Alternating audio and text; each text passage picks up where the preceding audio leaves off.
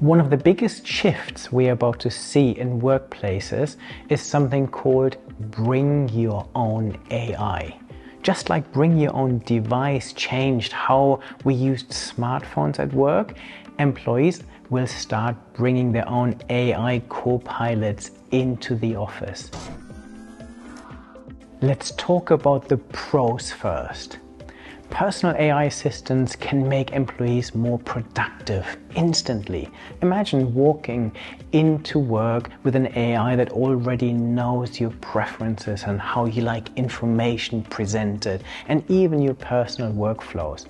That could save hours every week. It also gives employees more freedom to experiment and find the tools that really make them better at their job. And it drives innovation because when people use different AI tools, they bring new ideas and new approaches into the business. Now for the cons. Security is the biggest concern. If a personal AI is handling company data, there's a real risk of leaks, bias, and compliance issues. Governance becomes complicated because who is responsible if an AI tool makes a mistake? And collaboration can suffer if each employee works with a different AI ecosystem. Imagine a team where everyone uses a different assistant that cannot talk to each other. That creates silos instead of teamwork.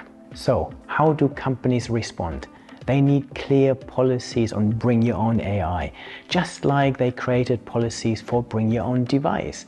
They need to balance innovation with governance, allowing employees to benefit from personal AI tools while putting guardrails in place to keep data safe and collaboration smooth. The truth is, bring your own AI is coming whether companies are ready for it or not. The smart organizations will embrace it, guide it, and use it as an opportunity to reimagine how people and AI work together.